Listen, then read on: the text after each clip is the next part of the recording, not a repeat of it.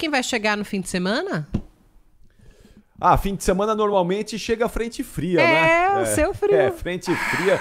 normalmente ela chega no fim de semana pra gente, né? É o seu frio, é o frio do Ricardo Garcia que tá comemorando por aqui.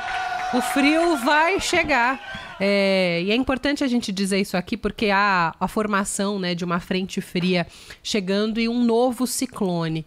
E principalmente estados do sul do país, preocupados com essa informação. A gente viu o que aconteceu com o último ciclone que que atingiu o Rio Grande do Sul e deixou ali algumas pessoas mortas, outras é, desabrigadas. Então, uma ventania enorme, reflexos dessa ventania aqui em São Paulo também, duas mortes em São Paulo.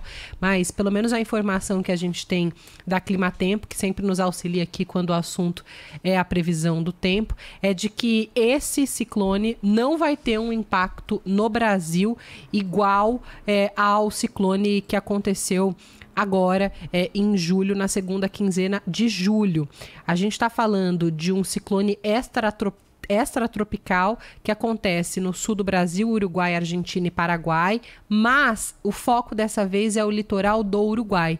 Então, aqui no Brasil, é, não há a expectativa de daquela ventania e de todas as consequências que a gente teve na semana passada, mas a frente fria vem e vem com tudo. Em São Paulo, aqui onde nós estamos, a máxima, temperatura máxima para o fim de semana, para o sábado, não deve ultrapassar os 19 graus.